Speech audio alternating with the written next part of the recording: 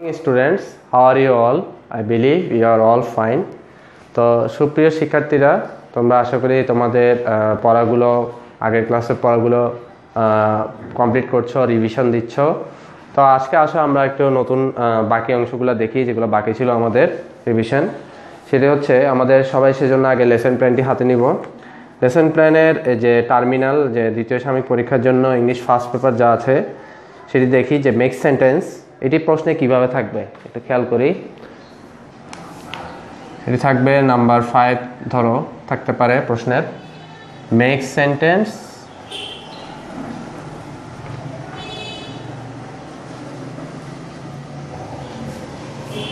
with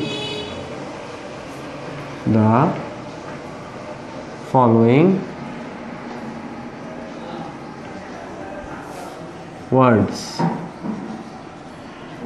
আচ্ছা। এখানে make sentence আমাদের পাঁচটি আনসার করতে হবে, ছয়টিও দেওয়া থাকতে পারে, তাহলে পাঁচটির উত্তর করতে হবে। তখন এনি ফাইভ দেওয়া থাকবে, যদি ছয়টি দেওয়া থাকে। তখন তো পাঁচটির জন্য দুই করে, সম্ভবত আমি একটু সিলেবাসটা একটু খেয়াল করি। হ্যাঁ দুই নাম্বার করে একটাতে, দুই নাম্বার করে পাঁচটি উত্তর করলে হচ্ছে দশ নম্বর। আচ্ছা। আশা করি জিনিসটা ক্লিয়ার তো এখানে কি দেওয়া থাকবে? যে এখানে আমাদের অনেকগুলো আছে শব্দ এখানে। এখান থেকে যে কোনো পাঁচটা বা ছয়টা দেওয়া থাকবে। সাপোজ ধরো উইন্ডো আমি দিলাম প্রথমটা। উইন্ডো এরকম বাকিগুলো আরও দেওয়া থাকবে। তো আমাদের আনসার কীভাবে করতে হবে? আনসারের জন্য অবশ্যই অ্যান্সার টু কোশ্চেন নাম্বার কত? নাম্বার ফাইভ না? নাম্বার ফাইভ হ্যাঁ। যেটি নাম্বার থাকবে সেটি অবশ্যই খেয়াল করবে। আচ্ছা তো উইন্ডো উইন্ডো নাম, এটা লিখতে হবে শব্দটা আগে। লিখে সমান সমান দিতে পারো অথবা হাইফেন দিলেও প্রবলেম নেই। তাহলে আমরা কি করতে পারি? ওপেন দ্য উইন্ডো যে কোনো তোমাদের নিজেদের মতো যেটি সেন্টেন্স অর্থপূর্ণ সেন্টেন্স হবে, সেটি লিখতে পারো। এটি না লিখলেও হবে।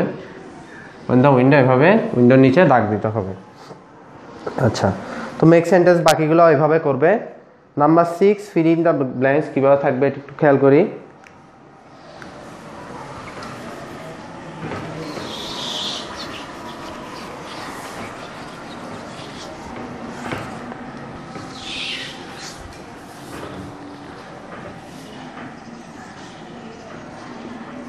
Fill in the blanks এতে কত নাম্বার করে আছে আমাদের সিলেবাসে? পাঁচ নাম্বার, পাঁচটি দেওয়া থাকবে। তাহলে ওয়ান ইন্টু ফাইভ তাহলে নাম্বার এ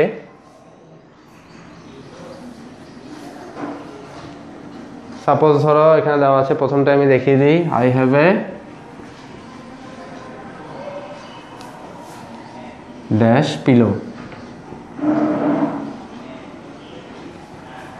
আচ্ছা এভাবে প্রশ্ন দেওয়া থাকবে, বাকি বি বিটাও এভাবে দেওয়া থাকবে বিসি এভাবে দেওয়া থাকবে প্রশ্ন। আমি একটি দেখিয়ে দিচ্ছি, তাহলে এটা কি করতে হবে? আনসার টু কোশ্চেন নাম্বার এখন কি ফাইভ আছে? নেই। তো এখন সিক্স সিক্স করে দিবে। সিক্সের এ যেহেতু এ আমি দেখিয়ে দিচ্ছি, তাহলে যেহেতু এটা আনসারটা লিখলেই হবে ফুল সেন্টেন্স এখন আপাতত তোমাদের লেখার দরকার নেই। যদি লিখতে চাও তোমরা লিখতে পারো, সমস্যা নেই কোনো।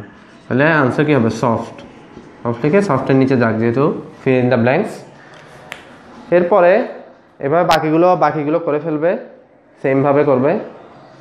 তারপর নাম্বার সেভেন আছে আমাদের রাইম তো রাইমের ক্ষেত্রে একটা জিনিস দেখাই।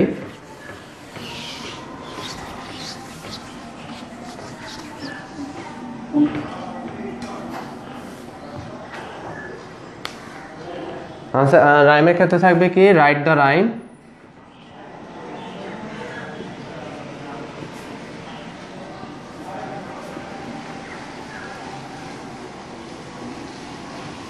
রাইমসে আমাদের কত নাম্বার আছে? নাম্বার টেন দশ নাম্বার একটিতে। তাহলে যে কোনো একটি, আমাদের কয়টি আছে? সিলেবাসে দুইটি দুইটি আছে যে কোনো একটি লিখতে হবে। আচ্ছা।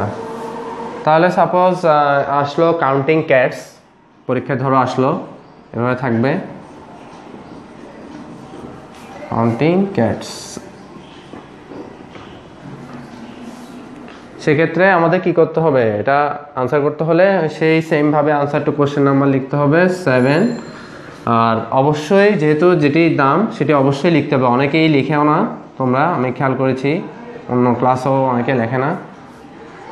অবশ্যই নামটি লিখতে হবে। যদি রাইটারের নাম থাকল পয়েন্ট যে লিখেছে তার নাম থাকতো তার নামও লিখতে হইতো। যেহেতু এখানে নামটি নেই, সেহেতু নামটি লিখতে হবে না, কে লিখেছে, বইতে নেই।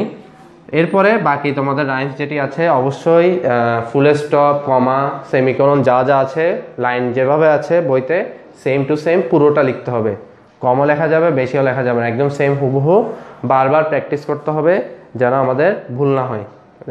ফুল স্টপ কমা এগুলো। তো আজকের ক্লাসে আমরা আলোচনা করলাম আমাদের মেক সেন্টেন্স আর ফিল ইন দ্য ব্ল্যাঙ্কস আর হচ্ছে রাইমস তো আশা করি আজকের ক্লাস তোমরা বুঝতে পেরেছ। আর আজকের ক্লাস নিয়ে কোনো সমস্যা থাকলে কিছু জানার থাকলে অবশ্যই আমাদেরকে কমেন্টে জানাতে পারবে। আজকের ক্লাস এ পর্যন্তই থ্যাংক ইউ বেশি বেশি করে রিভিশন দিচ্ছ পড়াগুলো আগের পড়াগুলো যেহেতু ক্লাসগুলো আগেই কমপ্লিট হয়ে আহ, ভালো করে প্র্যাকটিস করবে, বেশি বেশি করে, তাহলে মনে থাকবে, না হলে পরীক্ষায় ভালো করতে পারবে না। তো আসো আমরা আমাদের যে জিকে সিলেবাস আছে, এটা একটু দেখি, খেয়াল করি, সেজন্য সবাই সিলেবাস বইটি নিই। অভিভাবকরা একটু খেয়াল করবেন যেন ওরা বুঝতে পারে, কারণ ওরা হয়তো নাও বুঝতে পারে। পৃষ্ঠা চোদ্দ খেয়াল করি আমরা সবাই।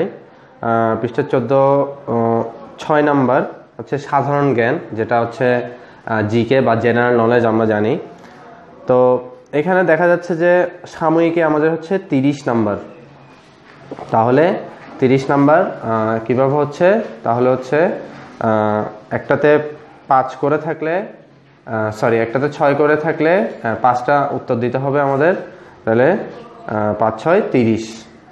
তাহলে পাঁচটা প্রশ্নের উত্তর দিতে হবে, যার এক এক একটার উত্তর নাম্বার থাকবে ছয় করে। তাহলে এটাই এটি অবশ্যই থাকবে পরিবেশ পরিচিতি আমাদের যে অংশ আছে পিপিও বলি আমরা, তাহলে ওইটার সাথে এটি থাকবে। তাহলে আমরা একটু দেখি আবার জিকে আমাদের পৃষ্ঠা একুশে আছে, যেগুলো আমরা পড়েছিলাম আগেই এক থেকে পনেরো পর্যন্ত, পৃষ্ঠা একুশ, বাইশ এবং তেইশ। আগে আমরা রিভিশন দিয়েছি দেখ- দেখেছি এগুলো, পড়ে ফেলেছি ডিটেলস এগুলো ভালো করে পড়তে হবে। আর আমাদের বেশি বেশি করে এগুলো প্র্যাকটিস করে নিতে হবে যেন আমরা এগুলো এখানেও পারি, উত্তর দিতে, এবং কোথায় পারি? আমাদের দেখা যাবে যে ট্রু ফলস যেটি আছে আমাদের ইংলিশ ফার্স্ট পেপারে ইংলিশ ফার্স্ট পেপারে এগুলো আমরা একই টপিক এগুলো আমরা ট্রু ফলসও একই জিনিস পড়ব। তো বেশি বেশি করে বুঝে পড়ব যেন উত্তর করতে পারি দোনোটাতেই আমাদের সুবিধা হবে। আচ্ছা তাহলে আমরা আজকের ক্লাসে দেখলাম যে আমাদের জিকেতে হচ্ছে তিরিশ নাম্বার পরিবেশ পরিস্থিতির সাথে যেটি থাকে যেটিতে হচ্ছে পাঁচটির উত্তর দিতে হবে, এক- একটিতে ছয় করে মার্কস, পাঁচ, ছয়, তিরিশ। আর আমাদের এখানে পনেরোটা আছে প্রশ্ন, পনেরোটার মধ্যে পাঁচটির উত্তর দিতে হবে। পরীক্ষায় পাঁচটি ছয়টিও থাকতে পারে, ছয়টির মধ্যে পাঁচটির উত্তর দিতে হবে। তো আজকের ক্লাস নিয়ে কারও কোনো প্রশ্ন প্রশ্ন থাকলে অবশ্যই আমাদেরকে জানাবে, কোনো সমস্যা থাকলে। আহ, তো আজকের ক্লাস এ পর্যন্তই থ্যাংক ইউ